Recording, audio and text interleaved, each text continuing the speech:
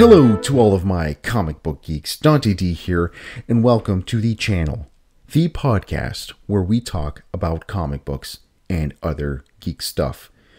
We would not have anything to talk about really if it wasn't for the comic book medium and some of the most iconic characters that have come out of comic books.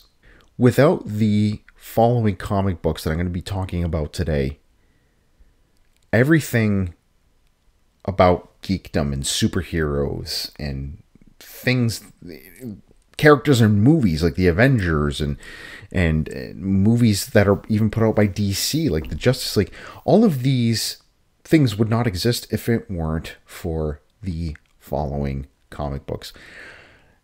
Now again, this is very subjective this is very personal, obviously. What I consider to be a, an iconic comic book, again, would might be different for you. I don't know. But overall, I think many collectors and many fans of this medium would agree that the the books on this list were significant to this medium. If you disagree, please let me know. And of course, at the end of this episode, I would love to hear from you all and let me know what you think are some of the most iconic books of all time. Now, what I mean by iconic is cultural significance, okay? These books might not even have the best art, okay?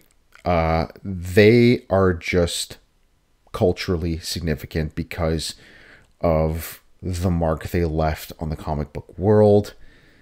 Maybe there was a death or the first appearance of a character, or it was just a comic that really kind of shook the medium. So let's start off with our first book. I think I, we have about maybe almost 50 on the list, and I'll try to get through them as quick as possible. Uh, and if you're listening to this as a podcast, um, I'm sorry you don't have the visual. I encourage you to check out the video version of this as well at some point. But uh, if you're a huge fan of the medium, you probably you will know these books. so starting off with the first one, which is probably the most famous comic book of all time, and that is Action Comics number one, which is the first appearance of Superman we don't I cannot underscore how important this book was to the comic book medium because this was the birth of a genre. This was a the birth of the superhero genre and the whole superhero archetype. Every single superhero that exists nowadays in some shape or form is related to Superman. Sorry if you hear my cat in the background. He's trying to get into, into the room and he misses me. He misses me. By the way, my cat's name's Loki. no, listen to him cry. Not to mention that this is probably also the most collectible, probably the most sought after comic book of all time, and one of the most expensive as well. Like, just unbelievable that this book, just in 2014, a 9.0 of this book sold for $3 million. That is just unbelievable. Of course, following cl- uh, closely behind Action Comics number one would be the first appearance of Batman, which was in Detective Comics 27. And Batman today is probably, I, would argue, I would say he and Spider Man are the most popular superheroes of all time, more so than Superman. Uh, Batman, there's just a lot more you could do with the character because he doesn't have powers and he's dark and mysterious and he's great. He's not a Boy Scout, right? So, uh, I mean, what is there not to love about Batman? Batman is actually my personal favorite. Uh, I think some of the best stories done in comic books uh, come out of Batman comics. So, obviously, the first appearance of Batman would be a uh, a must for this list. And I just love this cover. It is art by Bob Kane. I'm not a really huge fan of, of Bob Kane, especially what he did to kind of screw over Bill Finger. But um, that's, again, a topic for another video, uh, another episode uh, of the podcast as well. Actually, we did a video on the channel uh, about how Bob Kane screwed over Bill Finger, and we actually did a live stream where we interviewed Bill Finger's granddaughter, Athena Finger, and we talked uh, at great length about uh, Bill Finger and really encourage you to check that out if you get the chance. All Star Comics number eight. This is the first appearance of Wonder Woman, and I just love this cover with um, all of these uh, Golden Age DC Titans on the front. We have like Hawkman, we have the Spectre, uh, Doctor Midnight. Like some of these characters aren't even don't even exist anymore, but uh, it's a great cover, and this is the first comic that gave us uh, Wonder Woman, who is a huge, huge titan for DC Comics. Superman, number one. Why is this significant? Well, this is the first Superman solo title, actually. And I think this is also the first comic book to ever be dedicated to one character ever because all these other books that you're seeing, like Detective Comics, Action Comics, these were all anthology books in the Golden Age. So in Action Comics number one, you had a short Superman story that was maybe, I don't know, maybe eight pages or something. But then the the stories that followed were about other characters. Like uh, I know in Action Comics number one was also the first appearance of a character named Zatara, uh, so there were just all these different characters. Same thing in Detective. Detective did not just feature Batman, it featured other characters as well. As a matter of fact, Detective Comics number one didn't even have anyone like Batman. These were all anthology books that contained many different characters. Now you have Superman number one. You have many, it's still an anthology book. You have I think maybe four different stories that appeared in uh, in Superman number one, but these were four different stories that all dealt with Superman. So I this was never done before. A whole book dedicated to one character. That is how popular the guy with the red cape became. And of course, following that, you know, it had to happen. Batman was just as popular pretty much at the time. Uh, and of course, we get uh, Batman number one. This also is the uh, first appearance of the Joker. I believe it's also the first appearance of Catwoman. And uh, I have to say, overall, Golden Age writing is really bland. Uh, I find Golden Age comics really boring to read because the stories are really crude. They're to the point. There's there isn't a lot of psychological richness in them whatsoever. But uh, I have to say, these early Batman stories were actually really fun to read. And the first appearance of the Joker, uh, the very first story that you read in Batman number one is the first appearance of the Joker. And the story, I have to say, for the Golden Age, it was really kind of ahead of its time and super, super entertaining story where the Joker is uh, robbing diamonds from all these rich people and he's going on the on the radio to announce that he's going to be doing it. Like such a classic story, and it's kind of been uh, reworked and retold in, in different ways uh, and, and referenced to in so many different books. Uh, if, if there are some of you out there that have uh, read uh, Batman, uh, The Man Who Laughs, which is a an original Joker graphic novel, they actually reference this uh, this this first appearance of the Joker in that book, and it was just great.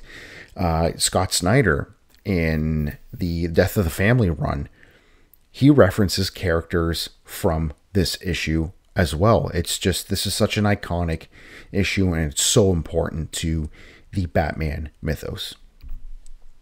Marvel Comics number one. Now, uh, Marvel Comics did not become the titan in the comic book industry that it is today until the 1960s. But uh, this is still, nevertheless, a very important comic book because, of course, it is an iconic cover, but it also features the first appearance of uh, the Human Torch, who at the time was not Johnny Storm, member of the Fantastic Four. Fantastic Four actually didn't exist at the time whatsoever, but the Torch did, and uh, I think he was a uh, he was some sort of like a crime-fighting android Uh, but then we also had uh, Namor, the Submariner, in uh, in this book. So I think I also see Ka-Zar there too. Um, Ka-Zar is another pretty cool character that Marvel did some stories with in, later on in the 70s and um, really cool character. I actually really like Ka-Zar uh, myself. Actually didn't know he was in this book. Look, I learned something new today too. Captain America Comics number one. If you're listening to this as a podcast, uh, I'm sure you're picturing the cover of this book in your head right now. Next to Action Comics number one, I think this is probably the most uh, iconic cover from the Golden Age, just because of the uh, the cultural context uh, that this book is coming from. I mean, all these characters are appearing around the time of World War II. So clearly, this cover would have such an effect on the comic book culture. You have Captain America, Steve Rogers, his first in his first appearance, punching Adolf Hitler in the face. Uh, and I think this is even before America entered the war. This book uh, launched, I believe it was in 1940. And uh, I think America joined the war not too long after. So uh, it's incredible that the comic books and the comic book industry they were fighting the war before the actual American soldiers were. So really, really incredible. And uh, I think just the the symbolism behind this cover and uh, you know the fact that World War II was such a uh, how can I put it important such an important happening in the in the 20th century. I, I mean this just sum, sums up uh, a lot the, the, the early part of the 20th century uh, perfectly right so definitely amazing Flash Comics number one this is the first appearance of the Flash uh, not, he's now obviously he looks a little different. He looked a little different back then. I think with the Flash, they were trying to um, uh, copy the uh, the Greek mythological character Hermes, uh, and um, just a really kind of a cool character design. Now, obviously, if we had this Flash nowadays, he would look kind of dated, but uh, I think at the time it worked, and uh, and he definitely became a uh, huge character uh, for DC Comics. This is All American Comics number 16, and uh, this is the first appearance of the Green Lantern. And believe it or not, this is one of the most sought after books from the Golden Age. I mean, I know Green Lantern's a popular character, but I didn't think he was so popular to the point that this would be one of the most expensive comic books coming out of that age. Like, uh, I think this is the third most expensive comic book coming out of the golden age. So uh, I think that's really kind of amazing. I know he didn't get fair treatment in the in the movies. His his movie with Ryan Reynolds was just not great at all. But Ryan Reynolds definitely has made a uh, a great comeback for sure. Pep Comics number 22. This is the first appearance of Archie Andrews from the famous Archie comics. Uh, and Archie to this day is an integral part of our culture. You see Archie whenever you go to the grocery stores. He's actually the only character that is still on the newsstands, uh, which is which is pretty astounding. But uh, I cannot underscore Archie Andrews's importance in our culture for sure. Uh, on this cover here, uh, it's really kind of incredible because you don't even see Archie on the cover. It's uh, it's the Shield who is uh, who's on the cover of this comic, but nevertheless, is the first time that Archie made his appearance in comic books. Crime Suspense Stories number 22. This is Frederick Wertham's favorite favorite comic book. and uh, I mean that sarcastically. Uh, so this comic book here, nothing really um, in particular happens in the book that is of note uh, from a narrative perspective. But uh, if you look at the cover, it is uh, a man holding presumably his wife, uh, his wife's head after he's beheaded her. And this is such an iconic comic book because uh, if you know a little bit about comic book history, uh, the 1950s was an era where there was kind of a witch hunt against comic books. Uh, there was a psychiatrist by the name of Frederick Wertham uh, who believed that juvenile delinquency was a direct result of children reading comic books. And he cited and actually showed this comic book to a um, Senate subcommittee uh, that was discussing the effects of comic books on youth. He, he used this as an example, saying like, really, like this is uh, this is wholesome literature that our kids should be reading. And William Gaines, who was the publisher of EC Comics and pretty much started this whole new trend in crime and horror comics. They questioned him and asked him if he thought that this cover was in good taste. And he said, Yes, I do believe it is in good taste. And he basically said it wouldn't be in good taste if they drew the head with blood dripping from it. I, I, I, just think it's a great story. Actually, uh, friend of mine who I've had on many of our live streams here, Eric Breen, actually has this book and he showed it on one of our live streams. And I think this is just uh, such a legendary book. Would love to have it in my collection, but it's a little bit outside of my price range. Detective Comics 31. This is just probably one of the most iconic comic book covers of all time. And it just kind of. Uh, it really kind of show this image here really embodies what Batman is all about. He's a dark avenger of evil and for that reason I think this book has become one of the most sought after by collectors. This cover actually has been swiped so many times by by artists, most notably Neal Adams, and I believe it was Detective or sorry, uh, Batman number 227 from the 1970s. and if you're a huge comic book fan uh, you'll know it's it's pretty much an upgraded version of this cover but definitely pays homage to it. Actually a pretty great issue, too. Um, i have uh, all of these issues collected in trade so uh, a lot of fun to read. Like i said batman is the only golden age character i can actually read and somewhat enjoy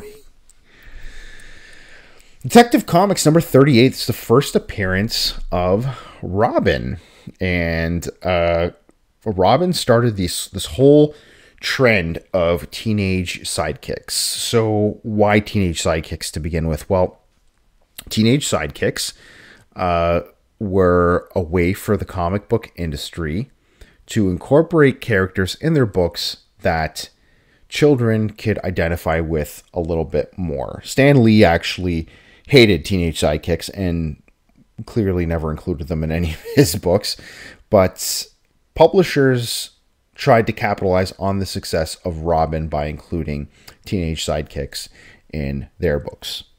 So that's probably one of the reasons why this is so iconic because we have our first teenage sidekick coming out of this this issue and uh, come on batman and robin like everybody knows batman and robin They are just the dynamic duo, such an integral part of our culture.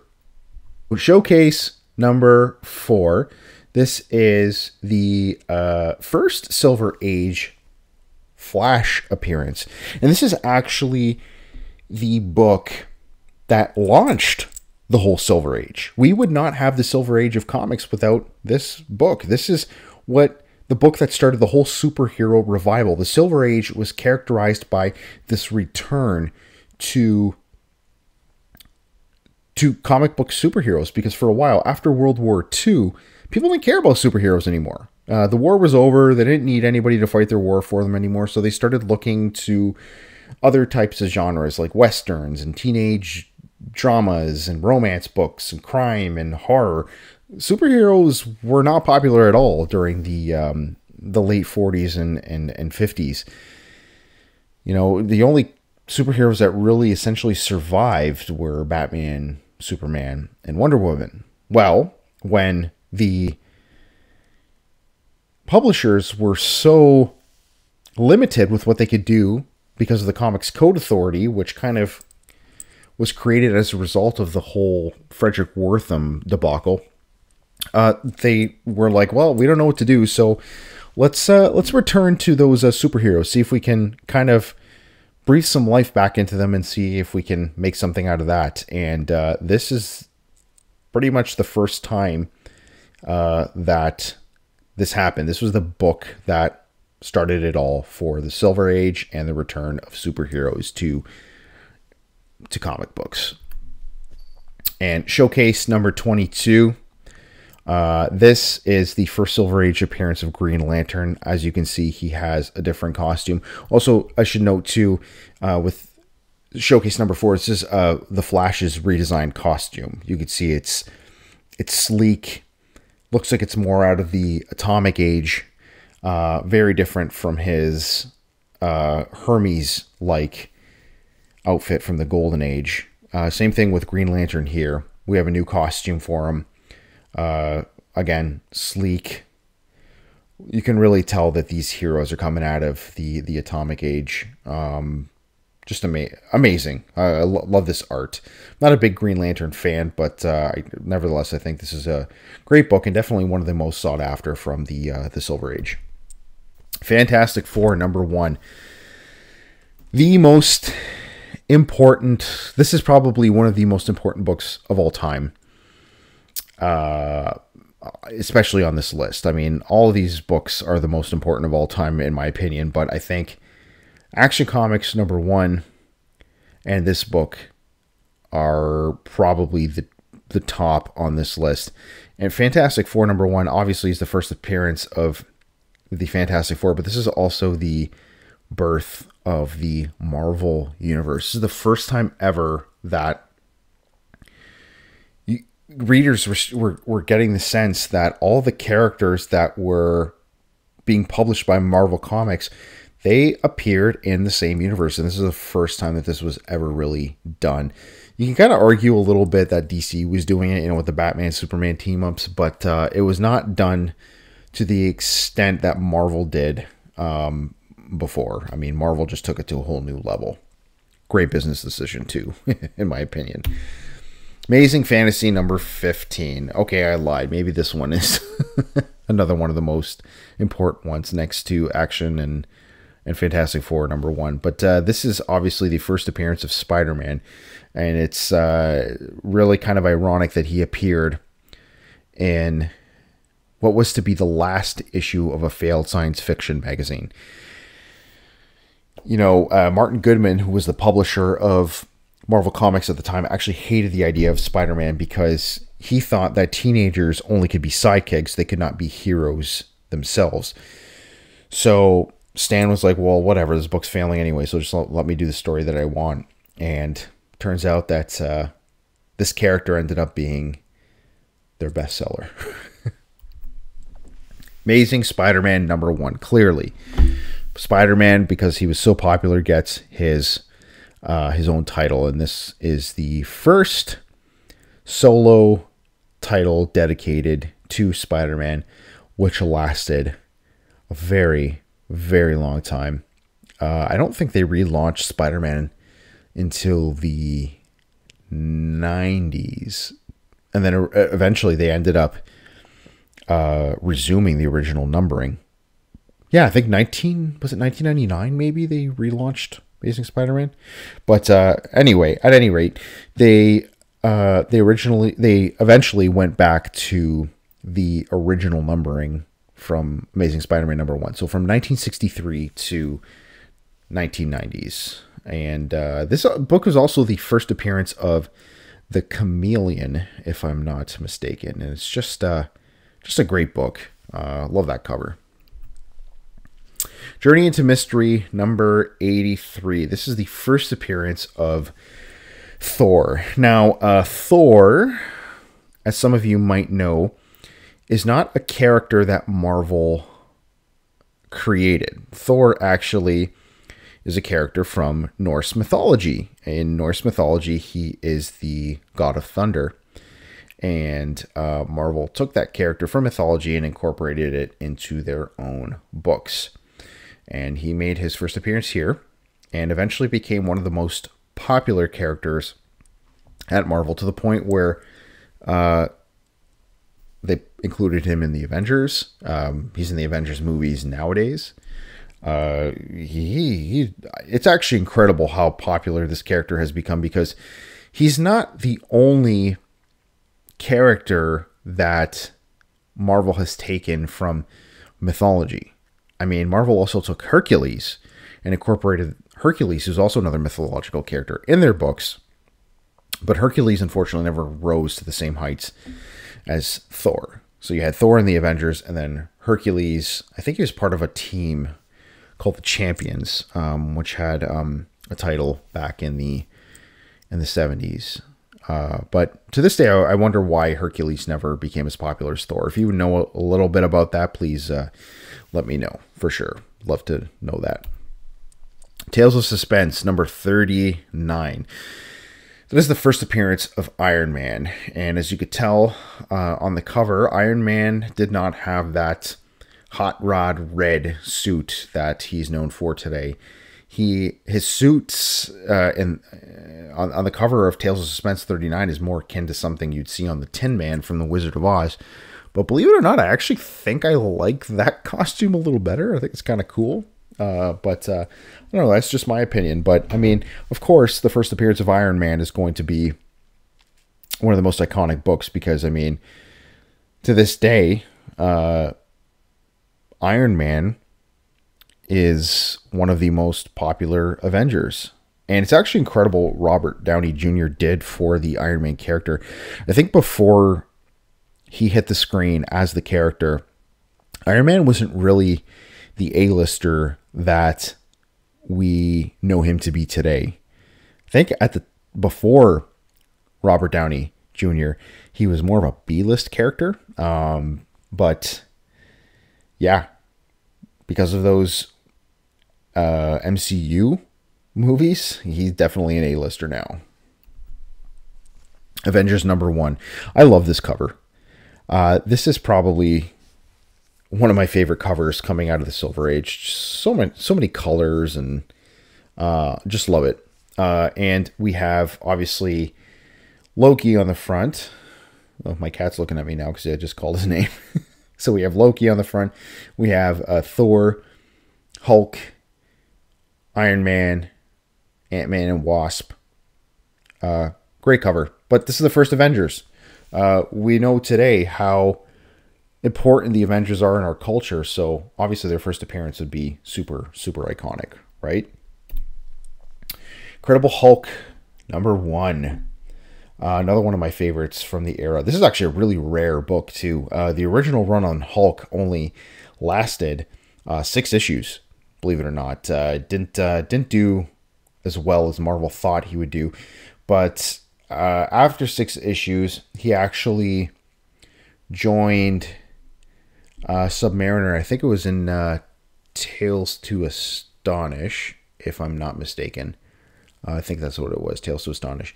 Uh, but it was, it was one of those uh, anthology books until eventually he became popular enough that they could give him his own title again in the early 1970s. And I think Hulk resumed somewhere around like 102, Hulk, Hulk 101 or something like that. But uh, yeah, great book, great cover. And Hulk was not always green. He actually was gray. Uh, I don't think they made him green until uh, Hulk number three, if I'm not mistaken.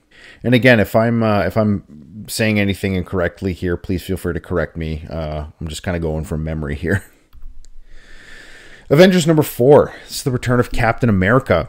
Up until this point, we hadn't seen Captain America since the uh, the Golden Age, um, and the first Silver Age appearance of Captain America was in Avengers number four. Great cover. Uh, you know, Cap just He's coming at you, Jack Kirby cover. Uh, it looks like he's gonna pop out of the book. Like it's just so cool. It's, and it says Captain America lives again. Like just such a cool cover. Um, absolutely love it. Definitely one of the most sought after books from uh, from the Silver Age. But uh, Cap, he is considered the first Avenger, right? Even though he's not on the cover of Avengers number one, but uh, he is he is a titan for Marvel and one of the most popular characters. So uh, this is definitely an important book in uh, in the history of the character.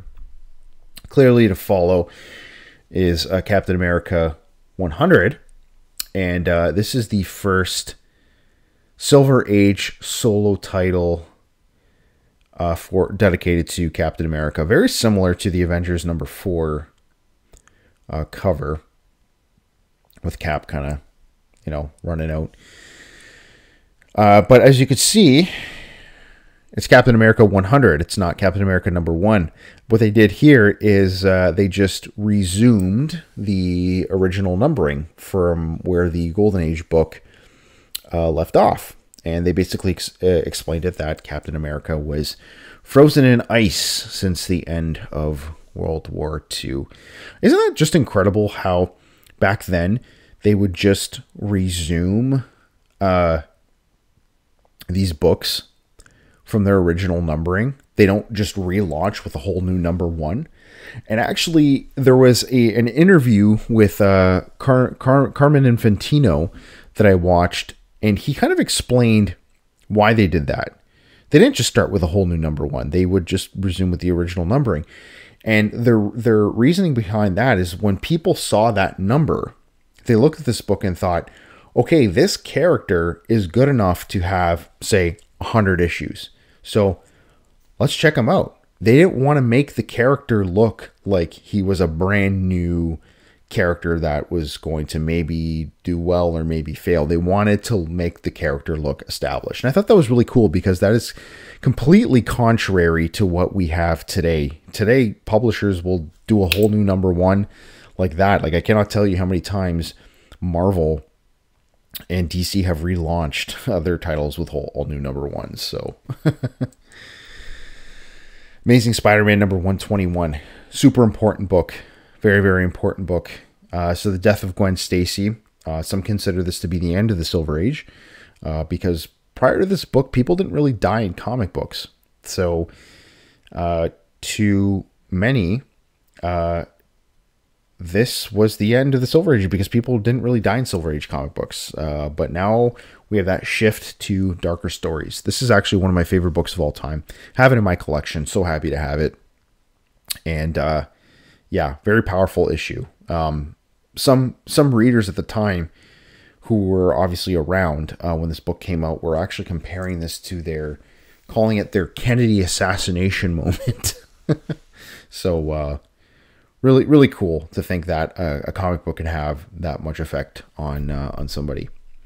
Fantastic Four number 52. This is the first appearance of uh, the Black Panther, and I think this is a super important book, not only because Black Panther is such an important character nowadays, but also because uh, Black Panther is the first uh, black superhero. Um, prior to this book, most superheroes, actually all superheroes, were all white. So it's the first time that we saw a, uh, a diverse superhero um, in the pages of comic books.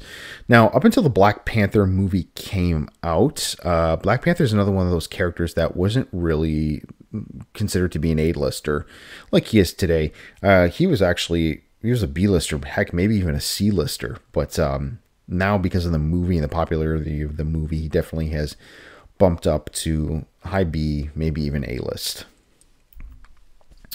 Uncanny X Men number 94. This is uh, hugely iconic because before Uncanny X Men number 94, um, X Men actually was not popular. Like, if I mention the X Men nowadays, everybody's heard of the X Men. Everyone loves the X Men, right?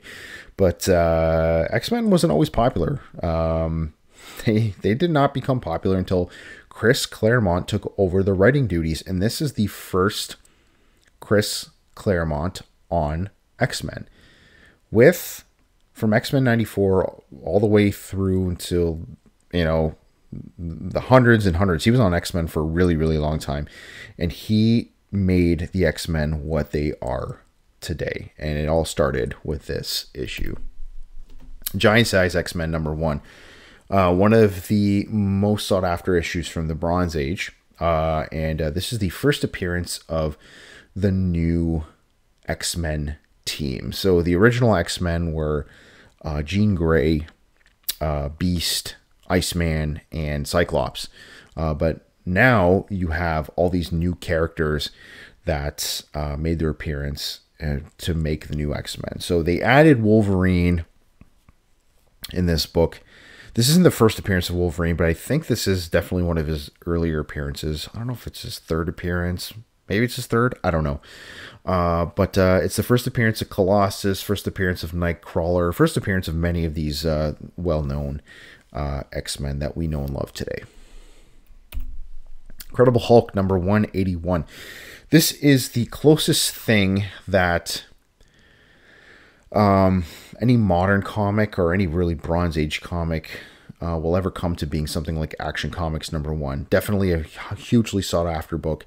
And this is the first full appearance of Wolverine. I cannot say this is the first appearance of Wolverine because then I'll have so many people yelling at me in the comments and uh, on social media saying, that's not the first appearance of Wolverine. Yeah, he had a cameo in 180, but most collectors would consider this to be the first appearance of Wolverine because it's his full appearance. So, uh, love this book. Great cover. One of the most memorable ever. And uh, Wolverine has become one of the most popular heroes of our time. And uh, it all started here, making it probably one of the most iconic books of all time. X Men number 101. This is the first appearance of the Phoenix. And uh, X Men is known for that Phoenix, Phoenix storyline. Uh, when people think X Men, they think the Phoenix. And uh, this is Chris Claremont work, obviously. And uh, to this day, we will always remember the Phoenix. Phoenix has made appearances in movies. Like whenever they do X Men on screen or anything with the X Men, the Phoenix always comes up um, at one point or another. So uh, just really memorable work here. Then, of course, we'd have to have the death of the Phoenix, which happened in X Men number 137. So, 36 issues later, they kill off the Phoenix and subsequently Jean Grey. Now, she stays dead for a very long time, but eventually they do bring her back. Uh, great issue. Uh, if you haven't read it, I definitely would uh, recommend it. But uh, yeah, uh, this just completes that whole Phoenix storyline that the X Men are known for. Star Wars number one. This is the first ever Star Wars comic book. Uh, first time we see Star Wars in print as a comic. And uh, this book saved Marvel Comics. The late 70s was a tough time for comic book publishers, Marvel and DC both. And uh, Star Wars is what saved Marvel Comics actually, I think Star Wars outsold Amazing Spider-Man at one point, which is which is huge. So uh, the and we can't underscore Star Wars' uh, popularity in our pop culture nowadays. I'm a, I myself am a huge Star Wars fan, as as you all know. So uh, definitely a great book. And uh, those early Star Wars stories, again, they're they're they're they're kind of dated by today's standards, but uh, they're really enjoyable and classic nevertheless. So definitely one of the most iconic books of all time. Green Lantern Green Arrow number 76. This is the famous Black Skins issue. Now, Green Lantern Green Arrow um, is a book that is really well known from the 1970s. This is um, Denny O'Neil, Neal Adams uh, work. And uh, Denny O'Neil was a, a well known hippie uh, and he really wanted to call a lot of uh, attentions attention to social issues at the time. And uh, Green Lantern Green Arrow was his uh, his avenue for doing that. And uh, this is the first issue that started this whole socially relevant Green Lantern Green Arrow. And uh, one of the most reprinted panels in comic books comes from this, and that is the um, the famous Black Skins panel, wherein you see a, a black man who's pretty much gone through hell, and he says to the Green Lantern, "Well, you know, you've done so much for the orange skins and the purple skins on these planets, but uh, what have you done to for the black skins, Mister Green Lantern?" And uh, and he's like, I, I have nothing to say to that. Like I, I haven't done anything, and he's and he's ashamed of himself. And the following issues deal with you know overpopulation and uh, and pollution and religion and and drugs and the famous drug issue as well. That's another notable one. I don't think I have it on this list, but the famous famous drug issue with a uh, Speedy um, Green Arrow's ward shooting up on the cover. Like I mean, uh, another hugely significant book from the era. Unfortunately, though, people didn't really want to read about social relevance, and the book uh, was canceled. I think by by issue 100, it was canceled. So, um, didn't pe- people didn't really want to be preached to, unfortunately.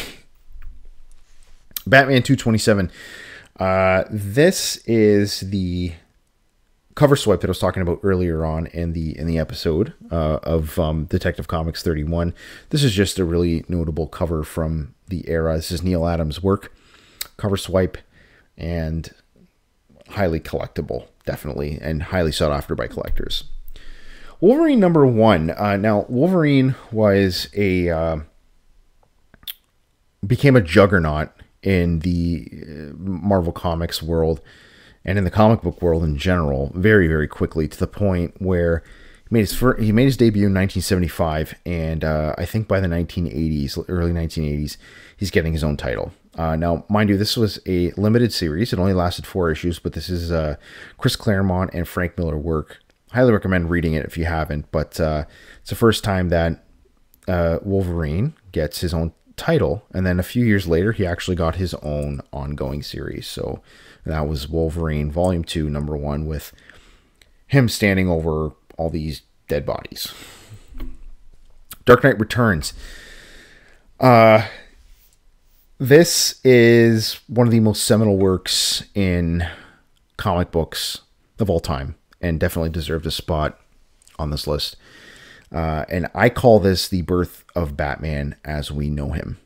Uh, now, we could say that Denny O'Neil and Neal Adams made an effort to return Batman to his darker roots in the 1970s, especially after the campy portrayals that we got in the 60s with the uh, with the Adam West um, Batman TV show. But I don't think the Batman as we know him today, that the Dark Avenger of uh, of evil, you know, I don't think we saw him until Dark Knight Returns. I mean, the 70s Batman, yeah, he was he was a little he was a little dark, but you know, he was really slender and he kind of at times reminded me of like the Roger Moore James Bond. I know I've said this before.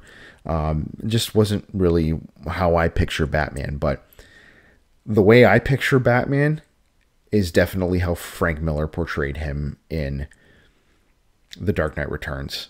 And I think in this book, Frank Miller created a new template for the Dark Knight that carries on into our our time today. Uh, I mean, this book was just so ahead of its time. It's, it's just incredible. So definitely, if you haven't read this, go out and get it. It's it's amazing. And of course, Watchmen redefine the comic book industry. So uh, I, if if Dark Knight redefined Batman and gave us a new template for Batman. I think Watchmen redefined the comic book industry because prior to this point, uh, the comic book industry had was fighting against this stigma of comic books being just for kids. Uh, I mean, heck, this is a stigma that, to a certain extent, still exists today. But uh, Watchmen is the comic book that showed us that comic books are mostly not for kids anymore. And Alan Moore, what he did with the the superhero genre here is just incredible. He unpacks the idea of what a superhero is and tries to envision them in our real world. I mean, because come on, if you want to put on a costume and go fight evil and go fight crime, I mean, there's got to be something wrong with you mentally, right? So uh, I think he really kind of delves into that quite a bit with this book, and uh, it's it's kind of um, satirical commentary on the comic book industry in a sense, even though it's a very dark work, and and again redefined the comic book industry as being more for adults. This is actually the only comic book that Time listed on their top 100 novels of all time. So definitely um, deserves to be on this list. Batman, The Killing Joke, and uh, this is the birth of the Joker as we know him. Uh, you know, the the Joker went through many iterations throughout his uh, you know 80 year history, and uh, the Joker that we know today, I feel, uh, was born in The Killing Joke. One of my favorite Batman comics, one of my most favorite Batman comics of all time, and uh, highly recommend to add this to your collection if uh, if you do not have it or have not read it. Uh, this is the psychopathic Joker that we know and love today, uh, and uh, and Alan Moore really redefined the Joker for a new generation. Batman 428. It's the death of Robin. Uh, this is the first comic book I think that ever got media attention. Um, people just went nuts when they found out Robin died. Now they thought it was the Dick Grayson Robin. Uh, they didn't know it was the um, uh, Jason Todd. His name slipped my mind for a second. Sorry, the Jason Todd Robin. Uh, and um, again, crazy. And I th- and I really like what uh, DC did with uh, with this book um, they actually let the fans decide if Robin was going to die or live with this one nine hundred number that they had at the the back. Clearly, people voted for him to die because uh, not a lot of people liked Jason Todd. New Mutants 98, first. New Mutants 98 is the first appearance of Deadpool. Uh, and Deadpool is a huge, huge titan, huge juggernaut in uh, the comic book world and in pop culture today. And this is the first time he ever made an appearance. Uh, great book, very highly sought after, very expensive, uh, but uh, collectors just go nuts for it. Amazing Spider-Man 300, first appearance of first full appearance of Venom, because uh, of course he made a cameo in 299, but um, the uh, the first full Venom was in Amazing Spider-Man 300 wow, what a book this was, and heck, wow, what a character Venom is. And uh, it all started here. X Men number one. This is the Jim Lee, Chris Claremont X Men uh, from 1991. Uh, this is a record selling comic book. I think every single person watching this that collects comic books probably has this comic in their uh, collection, but uh, it is worth it. Uh, I thought great story. I personally love it and loved it. and um, yeah, not very expensive book, and you should be able to add it to your collection rather cheaply if uh, if you don't have it. But uh, every comic book collector needs to have this in their collection. It's a record seller. Okay, it is estimated that eight million copies of this book sold. Now, mind you, I know those numbers are probably not super accurate because people were buying multiple copies and you know you had all these special edition covers and variant covers and whatever whatever. But at the end of the day a comic book up until this point had never sold that many copies ever not even in the golden age. So it's pretty astounding. Spawn number one. I think this is a hugely iconic comic book because uh, i don't think there exists any independent character today that is as popular as Spawn. Todd McFarlane created Spawn, and uh, this book here alone, as an independent comic, sold over a million copies. Like nowadays, that's unheard of. Like no independent comic is going to sell. Uh, hell, an independent comic would be even lucky to sell what fifty thousand copies nowadays. Uh, hot books nowadays sell hundred thousand copies. So, uh, I mean, wow uh, Todd McFarlane did well with himself with this character. I personally love Spawn. I'm a huge fan. Um, I have it in my collection. I have the trades. Um, great character. Love reading Spawn. And, uh, you know, like I said, I think this is a, a, hugely important comic book because it's the first time that an indie comic book I, I broke through that glass ceiling of uh, of comic book corporatism. So great milestone here.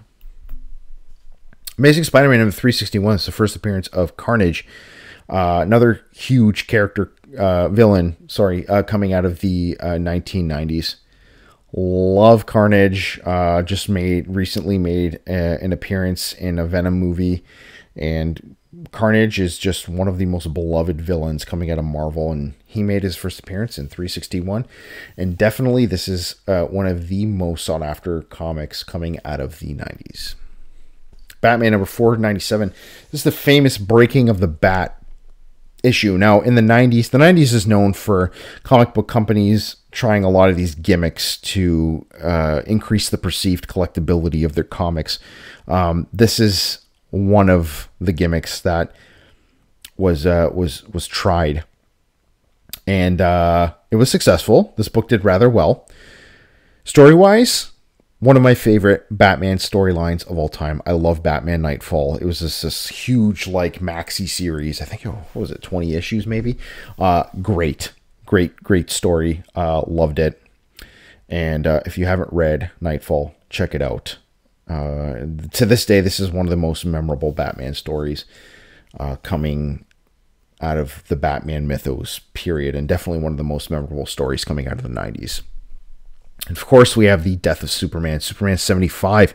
This is a 3 million copy seller right now. People went nuts uh, when Superman died, and they thought that for sure that he was going to stay dead forever my how those people were foolish and you know for sure they were not comic book fans because true comic book fans know that people in comic books especially huge corporate characters like superman never stay dead. I think they actually kept them dead for maybe about a year and then clearly they brought them back. Um, people went nuts over the death but when they finally brought them back nobody cared. Uh, Death of Superman, actually, believe it or not, is one of my favorite Superman runs.